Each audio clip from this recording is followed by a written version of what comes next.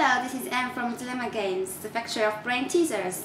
Now I'll show you the solution of this cast puzzle.